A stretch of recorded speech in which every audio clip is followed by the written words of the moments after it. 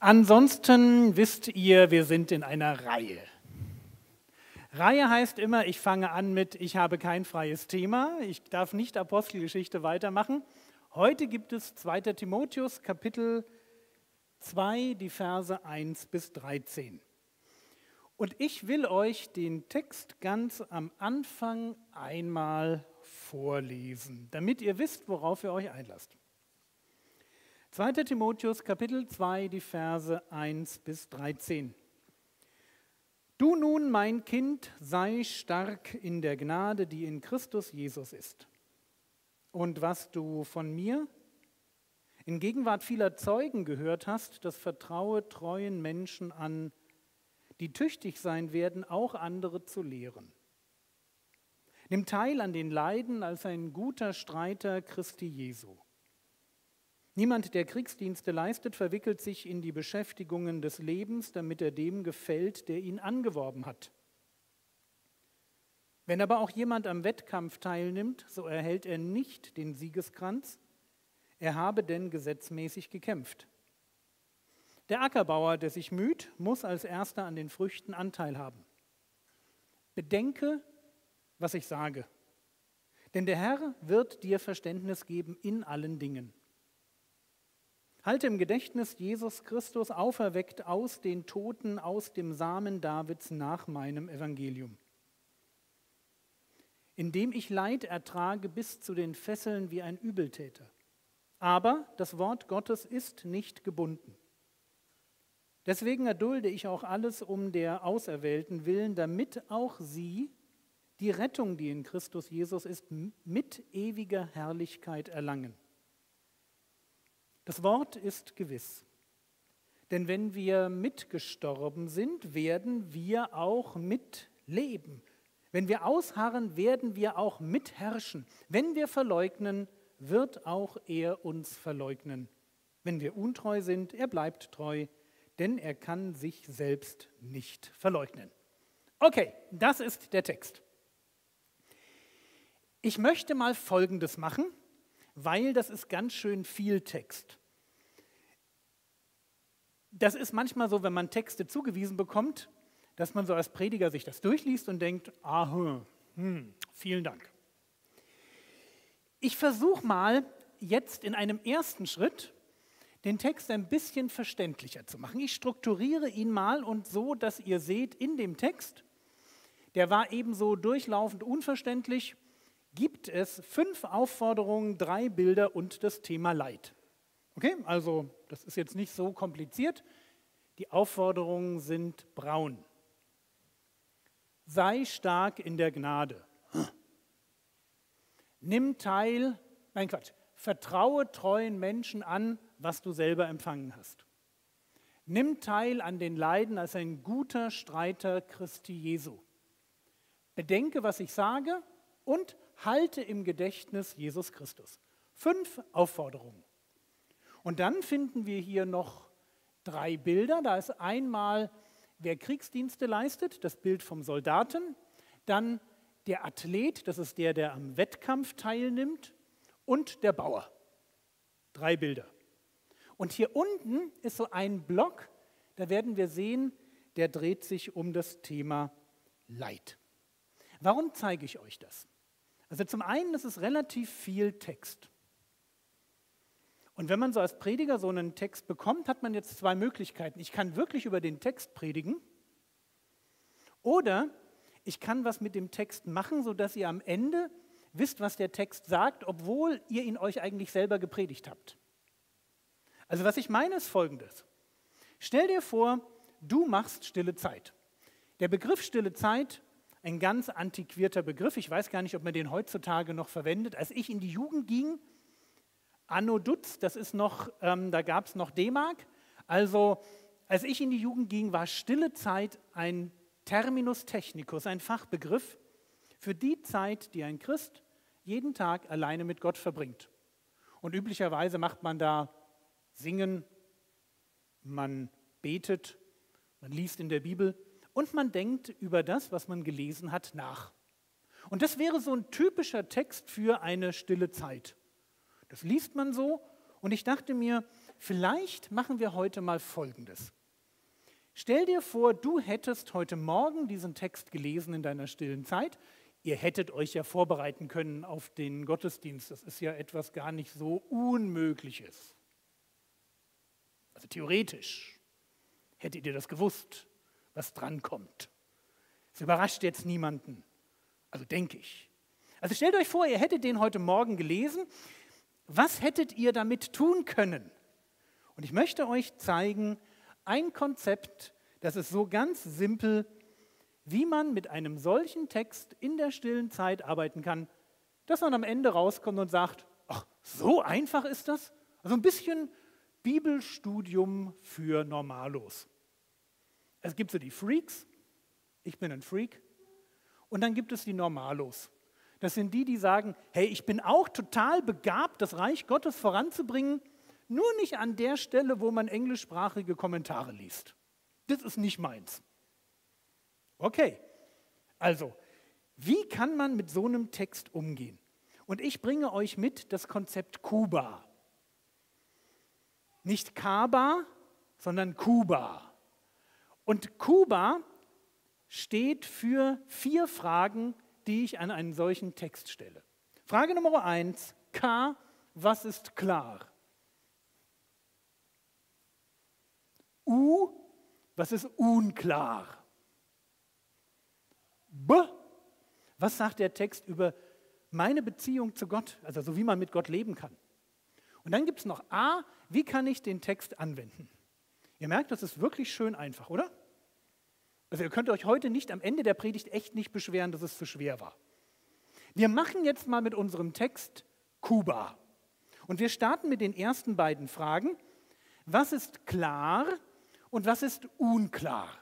Okay, wir gehen jetzt einmal durch den Text und schauen uns an, was ist alles klar. Du nun, mein Kind, sei stark in der Gnade, die in Christus Jesus ist. Du liest so einen Satz, ist der schwer? Nö. Ist er klar? Ja, logisch. Sei stark. Ist nicht schwer. Vielleicht ist nicht ganz klar, das würde ich so unter unklar packen, was heißt das in der Gnade? Das klingt so ein bisschen fremd, aber ansonsten ist der Vers ganz einfach. Vers Nummer zwei, und was du von mir in Gegenwart vieler Zeugen gehört hast, das vertraue treuen Menschen an, die tüchtig sein werden, auch andere zu lehren. Klar? Ja, irgendwie schon. Ich habe was gehört und das haben auch andere gehört, dass ich das gehört habe und das gebe ich einfach weiter. Es gibt also Wissen, was ich habe, das dazu da ist, an andere weitergegeben zu werden. Ist nicht kompliziert. Gut. Drittens, nimm teil an den Leiden als ein guter Streiter Christi Jesu. Schwer? Nö, ist alles klar. Die Aufforderung ist klar. Es gibt Leid, du bist Streiter Christi, Soldatin oder Soldat, du musst an der Stelle einfach mitmachen. Es gehört zum geistlichen Leben dazu, dass wir uns in einen geistlichen Kampf hineinbegeben.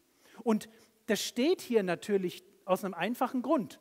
Es steht hier, weil wir in der Gefahr stehen, uns dem Leid zu entziehen. Also nimm teil steht hier, weil man vielleicht gerade beim Thema Leid in der Gefahr steht zu sagen, nee, möchte ich nicht.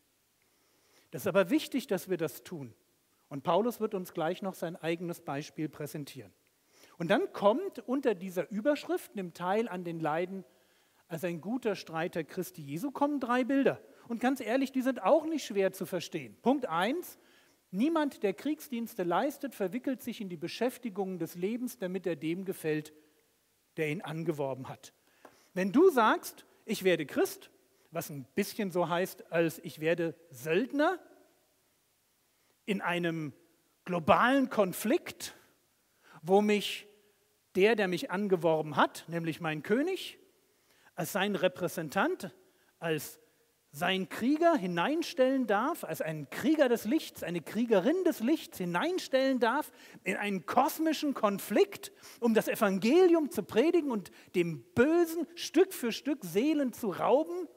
Naja, an der Stelle habe ich einen Job zu erledigen, und ich darf mich dann auch nicht um etwas anderes kümmern. Das ist der Fokus für mein Leben. Und deswegen muss ich als Christ Nein sagen zu Ablenkungen, zu den Dingen, die mich davon abhalten, meinen Job zu erledigen. Wie gesagt, der, der Text ist wirklich einfach. Auch das nächste Bild verstehen wir irgendwie sofort.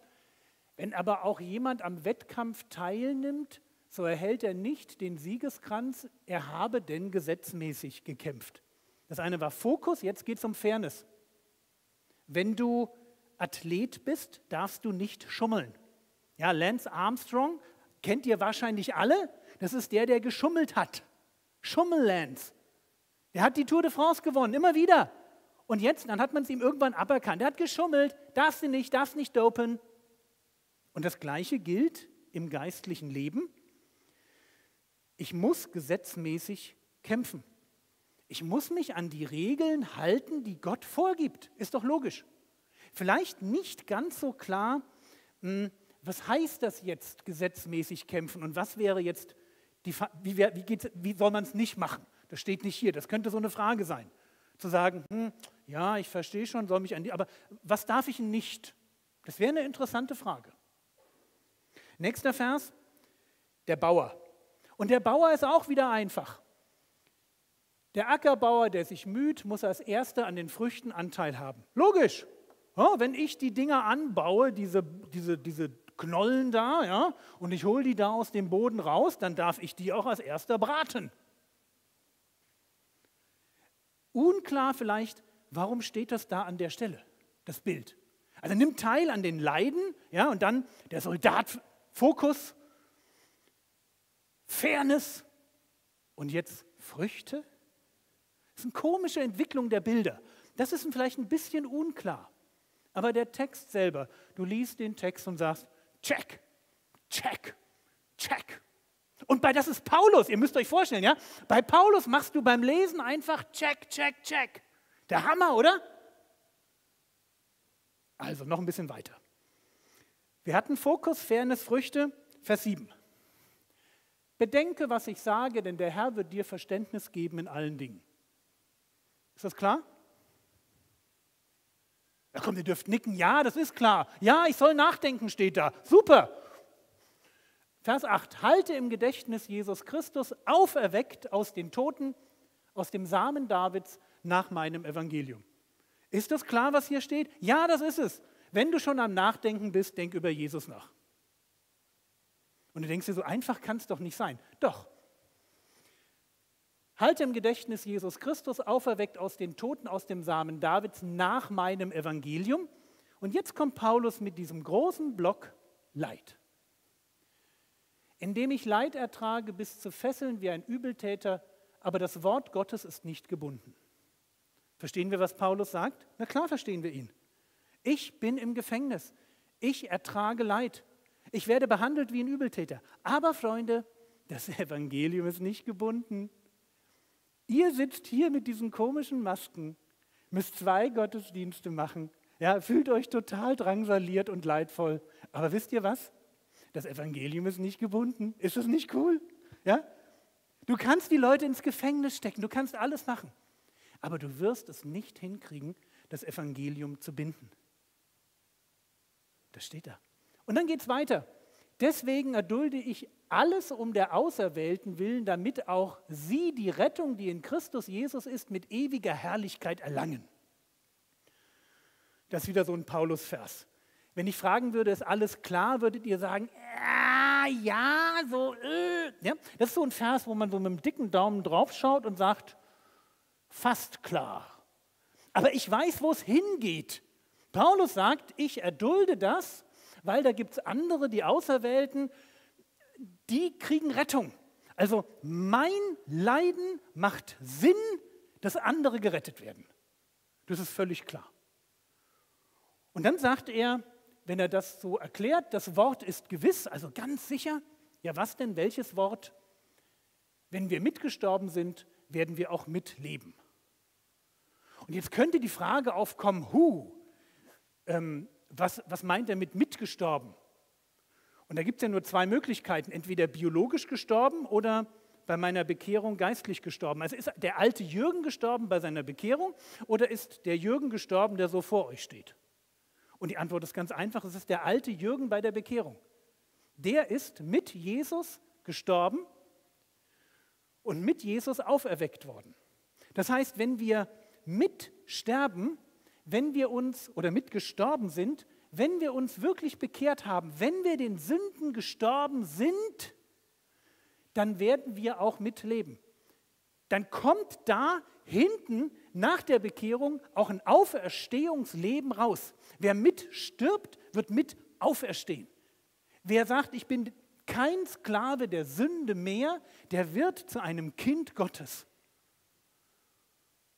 Ich gebe zu, das ist hier sehr kurz gehalten.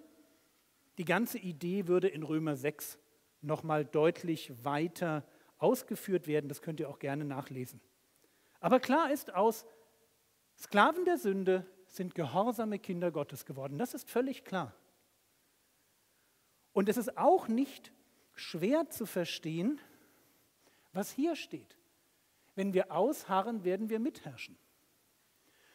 Wenn wir in diesem Leben ein Ja finden zum Leid und sagen, ich knicke nicht ein, ich halte durch. Gott hat mir einen Job gegeben, das Evangelium in eine feindliche Welt hineinzutragen, als sein Krieger. Und ich werde das Evangelium predigen. Und ich werde den Widerstand aushalten. Ich werde das Leid ertragen. Wenn ich hier ausharre, dann verspricht mir Gott, dann werde ich mitherrschen. Was auch immer das im Detail sein mag, das will ich jetzt an der Stelle gar nicht erklären. Mir ist wichtig, dass du das liest und sofort verstehst, worum es geht. Wenn ich hier ausharre und nicht einknicke, logisch, dann wird Gott mich dafür belohnen, ist doch selbstverständlich. Übrigens auch das Gegenteil gilt. Wenn wir verleugnen, wird auch er uns verleugnen. Wenn du einknickst, wenn du sagst, also mit diesem Jesus, da habe ich wirklich nichts mehr am Hut. Das war früher mal, das war so eine Kindergeschichte, da war ich so in der Kinderstunde und dann in der Jugend, habe mich da vielleicht auch bekehrt, aber da ist eigentlich jetzt nichts mehr dran. Ähm, das habe ich lange hinter mir gelassen, das war so eine, so eine Jugendsünde quasi. Da will ich nicht mehr. Wenn wir ihn verleugnen, wird auch er uns verleugnen. Paulus macht nichts weiter, als dass er das wiederholt, was der Herr Jesus selber gesagt hat. Ich lese euch da mal eine Stelle aus Matthäus 10 vor. Vers 32 und 33. Jeder nun, der sich vor den Menschen zu mir bekennen wird, zu dem werde auch ich mich bekennen vor meinem Vater, der in den Himmeln ist. Ja, wenn, wenn du sagst, ich gehöre dazu, dann wird der Herr Jesus mal sagen, ey, der gehört zu mir. Wer aber mich vor den Menschen verleugnen wird, wenn du dich hinstellst und sagst, nee, mit dem habe ich nichts zu schaffen, den werde auch ich verleugnen vor meinem Vater, der in den Himmeln ist.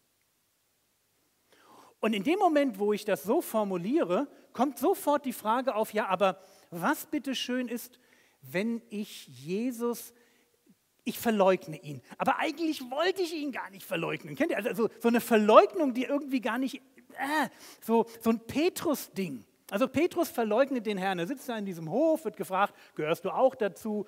Nein, nein, nein. Aber während er das noch tut, fängt er quasi schon, schon zu heulen an. Der geht raus aus dem Hof und ist eigentlich total traurig über das, was er getan hat. Also was, wenn du gar nicht verleugnest im Sinne von, ey, mit diesem Jesus, das ist Geschichte, damit will ich nichts zu tun haben, sondern eher so unter Druck zusammenbrichst. In einer bestimmten Situation einfach nicht deinen Mann, deine Frau stehen kannst. Ein bisschen feige, ein bisschen untreu bist. Was ist denn dann? Gilt dann auch das, was hier in Vers 12 stand? Nein, würde jetzt Paulus sagen, wenn wir untreu sind, also wenn es nicht um echtes Verleugnen geht, sondern darum, dass du mal so, eine, so einen Moment der Schwäche hast. Oder du selber merkst, bah, was war denn das für ein Stuss? Wenn wir untreu sind, er bleibt treu. Musst du dir keinen Kopf machen. Gott weiß ganz genau, wie es in deinem Herzen aussieht. Er bleibt treu, denn er kann sich selbst nicht verleugnen. Also auch das ist eigentlich klar. Vielleicht könnte man hier noch überlegen bei diesen letzten beiden Versen, was bedeutet es denn zu verleugnen? Also wie, was muss ich da genau tun, um Gott zu verleugnen? Wenn man sagt, ich möchte auf Nummer sicher gehen, dass mir das nicht passiert, wo fängt denn das an? Das wäre noch eine interessante Frage. So, was haben wir gemacht? Ihr erinnert euch? Wir haben Kuba uns die ersten beiden Fragen angeschaut. Also was ist klar und was ist unklar?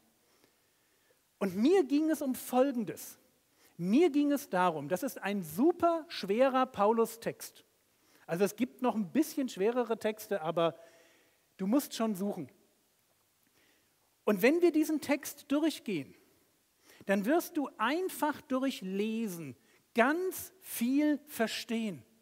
Ist klar, ist klar, ist klar. Ja, man kann noch ein bisschen tiefer gehen.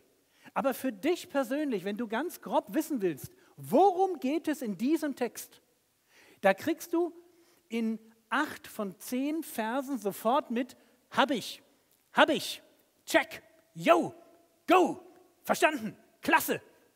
Und es ist wichtig, dass wenn du stille Zeit machst und Bibel liest, dass du nicht, was ganz normal ist, ihn liest und sagst, äh, verstehe ich nicht, hm, was soll denn das? Wen meint denn hier? Ja, dann hast du vier Fragen am Ende deiner Bibellese, aber den Eindruck, nichts verstanden zu haben. Und deswegen ist es wichtig, dass du dich fokussierst auf die Frage, was, was ist mir klar? Und dann stellst du fest, wow, ich habe von den 13 Versen, ich habe eigentlich 10 Verse total verstanden. Und in drei Versen hätte ich mal noch eine Anmerkung. Das ist wichtig, das ist für, dein, für dieses, die Emotion beim Bibellesen total wichtig, dass du rausgehst und sagst, ja, ist gar nicht so schwer. Also ich habe richtig viel. Klar, unklar. Und wenn du das hast, dann packst du deine Ergebnisse in diese beiden Container.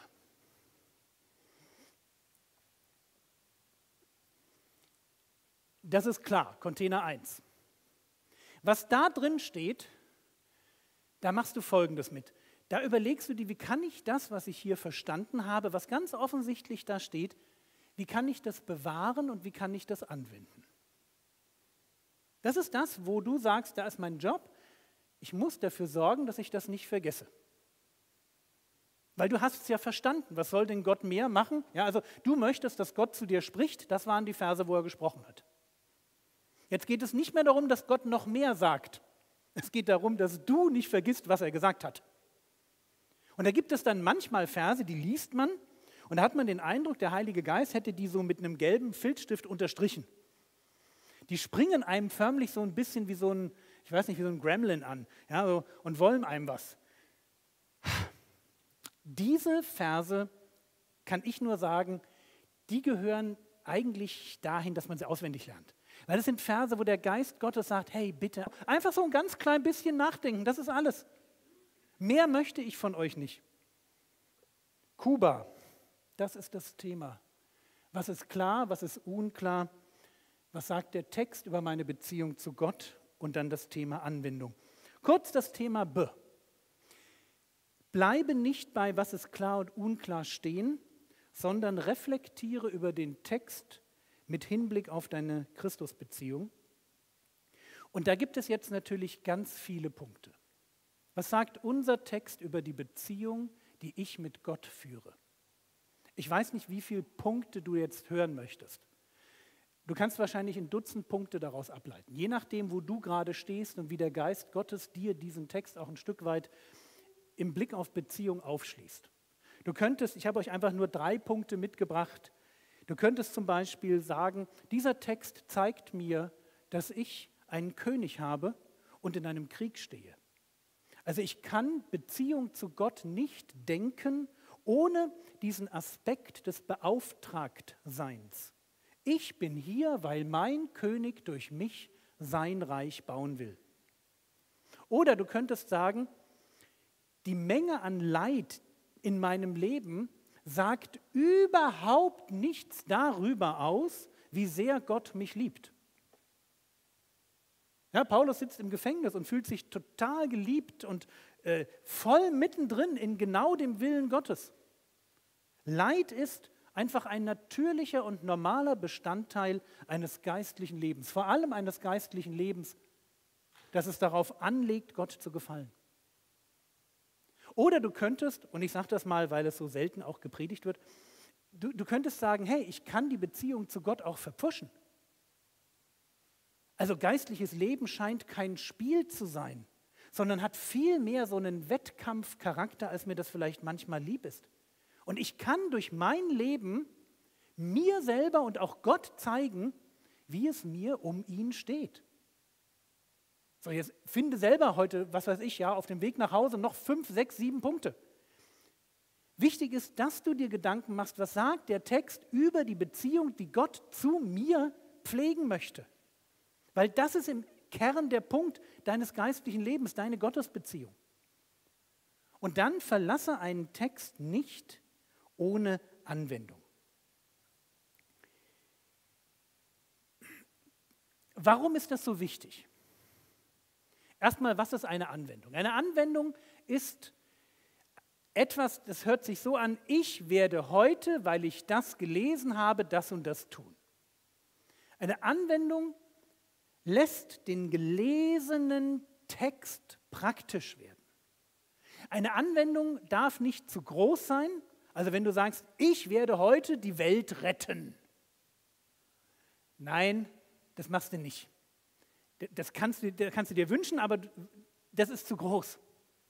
Eine Anwendung hat damit zu tun, dass ich Gott darum bitte, dass er mir ein Prinzip oder ein Gebot, ein vorbildliches Verhalten, eine Warnung aus dem Text wichtig macht. Also ich, ich bitte Gott, Herr, zeig mir irgendwas in dem Text, was wichtig ist und was ich heute ausleben kann. Ich weiß, ich habe euch mit dem Thema Anwendung schon öfter traktiert, aber es kommt immer mal wieder. Einfach weil es so wichtig ist, dass wir verstehen, geistliches Leben funktioniert nicht wie so ein Frosch, sondern Geistliches Leben funktioniert so, dass ich kleine Anwendungen schaffe, ganz kleine Anwendungen, jeden Tag irgendeine Kleinigkeit mache. Das, das, das, sieht man kaum, was man da so tut. Der Punkt ist, wenn du jeden Tag dich ein Stückchen weiterentwickelst, jeden Tag sagst, hey, ich möchte eine kleine Sache umsetzen, eine Sache machen, weil ich diesen Text gelesen habe, eine kleine Sache voranbringen, nur eine kleine Sache, nichts, wo ich danach denke, boah, da wäre ja keine Zeit, sondern irgendwas, was mich keine 20, was, keine zwei Minuten kostet. So, dann wirst du irgendwann feststellen, oh, 365 Anwendungen im Jahr. Wow, es hat mich verändert. Es hat mich wirklich verändert. Es hat mich vorangebracht. Und das Wichtige ist, dass wir begreifen, es geht im geistlichen Leben um Wissen, aber nicht nur um Wissen. Es geht darum, dass das Wissen mein Leben prägt. Wir können diese Prägung unseres Lebens nicht ohne Wissen machen. Deswegen müssen wir lesen, überlegen, was ist mir klar, was ist mir unklar. Aber aus dem, was mir klar ist, muss ich dann eine Anwendung formulieren. Und die muss ich umsetzen. Also ich könnte zum Beispiel sagen,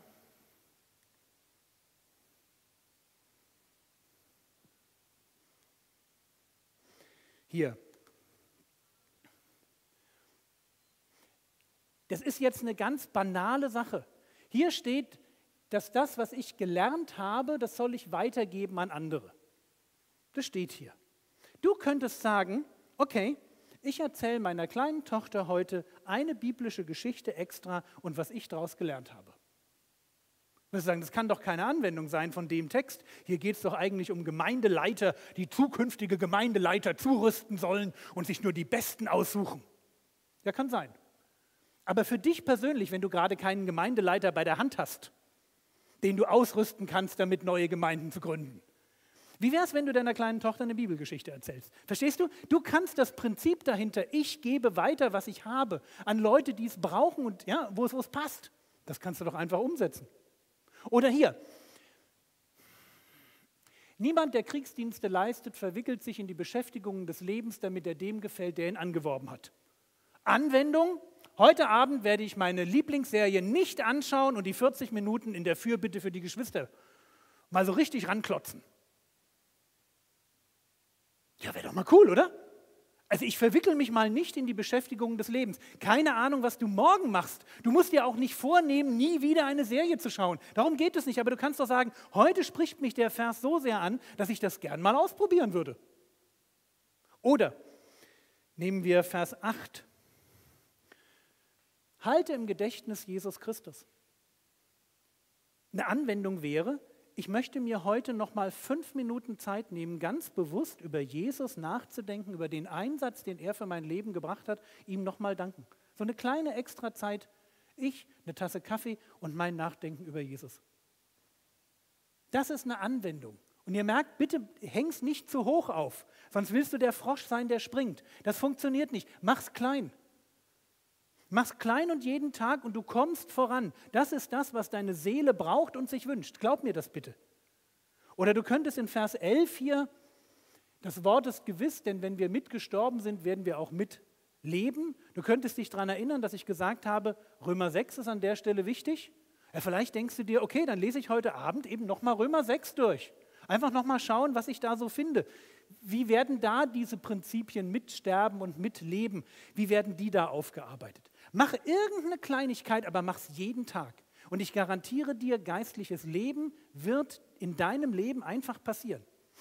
Das wird nicht passieren, wenn du einfach nur liest. Das ist das Problem. Du musst vom Lesen zum Tun kommen. Seid nicht nur Hörer, sondern Täter. Und der Übergang vom Hören zum Tun hat etwas mit Sinnen und Anwenden zu tun. Und das macht für euch Kuba. Letzter Gedanke. Könnt ihr euch vorstellen, was das mit euch machen würde, wenn ihr jeden Tag einen Text lest und euch einfach nur aufschreibt, was habe ich verstanden? Und jedes Mal sagst, ja, ja, ja, ja. Also, dass man liest mit Freude, ist total wichtig. Und dass du, wenn du sagst, ich habe hier noch Fragen, sagst, yeah. Freunde, ich krieg euch. Wie so ein Rätsel. Dass man sagt, die, die kriege ich geknackt. Dauert vielleicht 20 Jahre. Also ich habe auch noch Fragen an die Bibel. Jürgen Fischer hat Fragen an die Bibel. Ja? Ist wirklich so. Und ist nicht schlimm. Ich habe vielleicht noch ein Vierteljahrhundert Zeit. Wir kriegen die gelöst. Und, und so musst du rangehen. Und da musst du dir Hilfe holen. Da darfst du forschen, weiterdenken, immer mehr verstehen. Und dann Beziehung. Denk über das Thema Beziehung nach und verstehe jeden Tag ein bisschen mehr. Was heißt es in diesem Leben mit Gott zu leben? Und dann jeden Tag eine Anwendung, jeden Tag ein kleiner Schritt, nichts Großes, so eine extra Portion Lebensveränderung, wo du sagst, das habe ich jetzt nur gemacht, weil ich habe Gott gehört, wie er zu mir gesprochen hat. Und ich möchte nicht nur ein Hörer, ich möchte ein Täter sein. Und wenn du das tust, dann verspreche ich dir, dann geht es in deinem Leben voran. Ich übergebe an Emily.